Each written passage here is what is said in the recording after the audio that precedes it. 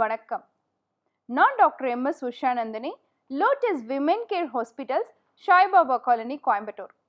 இனியவ என்ற நிகழ்ச்சியில் நம்ம தொடர்ந்து பெண்கள் சார்ந்த ஆரோக்கிய குறிப்புகளை பார்த்துக்கிட்டே வரோம்.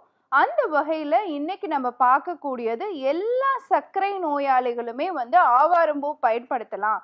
சர்க்கரை கட்டுப்பாட்டுக்கு வந்துடும் அப்படிங்கிற ஒரு எண்ணம் எல்லா மக்கள் மத்தியிலையும் இருக்குது ஆனால் சில பேர் நினைக்கிறாங்க இந்த ஆவாரம் பூல அப்படி ஏதாவது சயின்டிஃபிக்காக இருக்கா? எப்படி அதை மட்டும் பயன்படுத்தினா சர்க்கரை கம்மியாகும்? ஆவாரம் பூல பயன்படுத்தினால ஏதாவது சைடு எஃபெக்ட்ஸ் வருமா? அதில் வேற என்னென்னலாம் பயன்கள்லாம் இருக்கு? இந்த மாதிரி நமக்குள்ள நிறைய கேள்விகள் இருக்கலாம். அப்படி அந்த ஆவாரம் பூவை சர்க்கரை நோய்க்கு எப்படி பயன்படுத்துறது? ஆய்வுகள் என்னென்ன அந்த ஆவாரம் பூவில் பண்ணி சர்க்கரை நோய்க்கு இப்படித்தான் அது பயன்படுதுன்னு ப்ரூவ் பண்ணியிருக்காங்க. மேலும் அந்த ஆவாரம்பூ பயன்படுத்தும் பொழுது பெண்களுக்கு என்ன விதமான பலன்கள் கிடைக்கும்? இதெல்லாம் தான் தெரிஞ்சுக்கிறதுக்கான பதிவு இது. ஆவாரம் பூ அப்படிங்கிறது வந்து யூஸ்வலாக பூக்கக்கூடிய பருவம் பார்த்தீங்கன்னா மேக்சிமம் இந்த டிசம்பர் ஜான்வரி பிப்ரவரி இந்த டைமில் தான் நிறைய பூக்கும். என்ன காரணம்னா அதை தொடர்ந்து அடுத்து வந்து ஏப்ரல் மே ஜூன் இந்த காலகட்டத்தில் அந்த மார்ச் ஏப்ரல் மே ஜூன் கடும் வெயில் நமக்குள்ளே இருக்கும். ஸோ ரொம்ப சூடு நமக்கு அதிகமாகும். அந்த காலகட்டங்களில் அது மருந்தாக பயன்படுத்தப்படும். குறிப்பாக நம்ம இந்த போகிக்கு காப்பு கட்டு ப- கட்டுறோம் பார்த்தீங்களா அதில் வந்து நிறைய பகுதியில் இந்த ஆவாரம் பூவை சேர்த்து வச்சு கட்டுவாங்க. எதுக்காகனா அது நம்ம முற்றத்தில் என்றைக்குமே இருந்துக்கிட்டே இருக்கும். நம்ம வீட்டு வாசலில் நம்ம அதை சொருகி வச்சுருப்போம். சப்போஸ் ஏப்ரல் மார்ச் மே அந்த காலகட்டங்களில் அம்மை நோய் அந்த மாதிரி சூடான நோய்கள் நமக்கு வந்துச்சு யூரினரி ட்ராக்ட் இன்ஃபெக்ஷன்லாம் வந்துச்சுன்னு சொன்னால் நம்ம வீட்டு வாசல்லையே அந்த ஆவாரம் பூ இருக்கும். அதை வந்து காஞ்சி தான் இருக்கும். அதை நீங்கள் தண்ணியில் எடுத்து கொதிக்க வச்சிங்கனாலும் அந்த பூ செடியில் பூத்த மாதிரி ஃப்ரெஷ்ஷாக மாறிடும். இன்றைக்கும் உங்கள் வீட்டில் காஞ்ச ஆவாரம் பூ இருந்தால் நீங்கள் இதை ட்ரை பண்ணி பார்க்கலாம். அந்த ஆவாரம் பூவை தண்ணியில் போட்டு கொதிக்க வச்சிங்கன்னா அந்த பூ மலர்ந்த போது எப்படி ஃப்ரெஷ்ஷாக இருக்குமோ அந்த மாதிரி ஃப்ரெஷ்ஷாக மாறிடும். அந்த அளவுக்கு காஞ்சாலும் அதனுடைய மருத்துவ குணங்கள் மாறவே மாறாது. இதுதான் ஆவாரம் பூவுடைய சிறப்பான பண்பு. அதுக்கு ஒரு பழமொழியே உண்டு. ஆவாரம் பூவிருக்க சாவாரை கண்டதில்லை அப்படின்னு சொல்லிட்டு. ஆவாரை எங்கெல்லாம் பூத்திருக்கோ அந்த இடத்துல எல்லாம் வந்து இறப்பு என்பதே நடக்காதாம் ஏன்னா அந்த அளவுக்கு வந்து சக்தி வாய்ந்த ஒரு மூலிகையா ஆவாரம் பூ சொல்லப்படுது.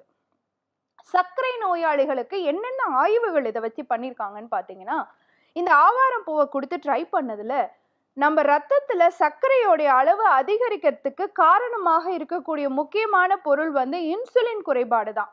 அந்த இன்சுலினுடைய அளவு வந்து ரத்தத்தில் அதிகமாகிறதுக்கு இந்த ஆவாரம் பூ சப்போர்ட்டிவாக இருக்குது அதே மாதிரி நம்ம கணையத்தில் இருக்கக்கூடிய பீட்டா செல்களுடைய ஃபங்க்ஷன்ஸ் நல்லா இருக்கான்னு தெரிஞ்சுக்கிறதுக்கு நம்ம ரத்தத்தில் செக் பண்ணக்கூடிய அளவு வந்து சி பெப்டைட் அப்படின்னு ஒரு டெஸ்ட் பண்ணுவோம். அந்த சி பெப்டைடோடைய அளவு வந்து அதிகமாகிறதுக்கு இந்த ஆவாரம் பூ பயனுள்ளதாக இருக்குது அடுத்து ரத்தத்தில் நம்ம கணையம்ங்கிறத தாண்டி நம்ம கல்லீரலோடைய ஃபங்க்ஷன் நல்லா இருக்கணும் அப்படின்னு சொன்னால் நம்ம ரத்தத்தில் இந்த ரெண்டு மூலக்கூறுகளும் அதிகமாக இருக்கும். அதை இன்க்ரீஸ் பண்ணுறக்கூடிய வேலையை இந்த ஆவாரம் பூ பண்ணுது. ஹெப்பாட்டிக் ஹெக்ஸோகைனேஸ் பாஸ்போஃப்ரக்டோகைனேஸ் இந்த ரெண்டு என்சைம்ஸோட ஃபங்க்ஷன் நல்லா இருந்தால் தான் நம்ம ரத்தத்தில் சர்க்கரையோட அளவு கம்மிப்படும். ஸோ இது இந்த ரெண்டு ஊக்குவிகளையும் இன்க்ரீஸ் பண்ணக்கூடிய தன்மை ஆவாரம் பூவுக்கு உண்டு. கணையத்தோடைய ஃபங்க்ஷனை தடுக்கக்கூடிய ரெண்டு என்சைம் இருக்குது ரெண்டு ஊக்குவிகள் வந்து கணையம் சரியாக வேலை செய்யாமல் தடுக்கக்கூடியது.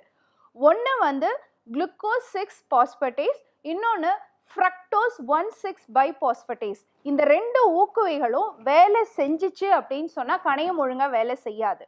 இந்த ஆவாரம் பூ என்ன பண்ணுதுன்னா இந்த ரெண்டு என்சைம்ஸையும் வேலை செய்ய விடாமல் பண்ணிடுது. அப்போ ஆட்டோமேட்டிக்காக கணையம் வந்து நல்லா வேலை செய்யுது இன்னொன்று அனிமல் ஸ்டடி கொடுத்து பார்த்ததுல இந்த ஆவாரம் பூவை வந்து ஸ்டடி பண்ணி பார்த்துருக்காங்க. பண்ணினதுக்கு அப்புறம் ரத்தத்துல எல்லாம் சர்க்கரை எல்லாம் குறையுது.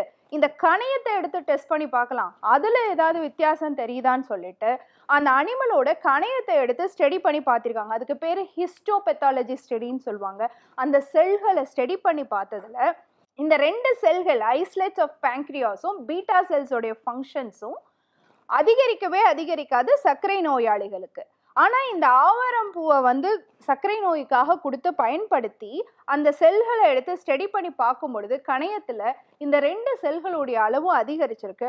அப்ப சர்க்கரை நோய் கட்டுப்பாட்டுக்கு வருது. இது மட்டும்தானா? சர்க்கரை நோய் உருவாகிறதுக்குன்னு பாத்தீங்கன்னா நம்ம ரத்தத்துல மத்த இடத்துல அந்த சர்க்கரைய மசில்ஸும் சரி நம்ம லிவரும் சரி கிரகிச்சுக்கணும். கிரகிச்சுக்கணும்னா எப்படின்னா நம்ம ரத்தத்தில் அளவுக்கு அதிகமான சர்க்கரை இருந்துச்சுன்னா அது போய் நம்மளுடைய தசைகள்லையும் நம்மளுடைய கல்லீரல்லையும் போய் கிளைக்கோஜன் அப்படிங்கிற பொருளாக உட்காந்துக்கும் நார்மலாக சர்க்கரை இல்லாத நோயாளிகளுக்கு நம்ம நிறைய இனிப்பு சாப்பிடும் பொழுது அந்த இனிப்பெல்லாம் கிளைக்கோஜனாக போய் ஸ்டோர் ஆகிக்கும் ஆனால் சர்க்கரை நோயாளிகளுக்கு இது ஸ்டோர் ஆகாது. அதனாலதான் ரத்தத்தில் சர்க்கரையோடைய அளவு கூடுதலாகவே இருக்குது ஆனால் இந்த ஆவாரம் பூ இந்த கிளைக்கோஜன் கன்வர்ஷனை இன்க்ரீஸ் பண்ணுது. கல்லீரல்லையும் உங்கள் தசை பகுதிகள்லையும் மசில்ஸ்லையும் கிளைக்கோஜன் ஸ்டோரேஜ் இன்க்ரீஸ் ஆகிறதுனால சர்க்கரையோடைய அளவு கட்டுப்பாட்டுக்கு வருது. அப்போது ப- கணையத்ததெல்லாம் சர்க்கரையோடைய அளவை கண்ட்ரோல் பண்ணுற வேலையை மட்டும் இந்த ஆவாரம் பூ உங்கள் உடலில் இருக்கக்கூடிய இன்சுலின் ரெசிஸ்டன்ஸையும் கம்மி பண்ணி உங்கள் உடல் எடையை கம்மி பண்ணி உங்கள் சர்க்கரையோடைய அளவை கட்டுப்பாட்டுக்கு கொண்டு வருது. இந்த ஆவாரம் பூவுக்கு இன்னொரு பெயர் அழகான ஒரு பெயர் மேகாரி அப்படிங்கிற ஒரு பொருள் உண்டு. மேகத்தை அறுக்கக்கூடியவள் அப்படின்னு.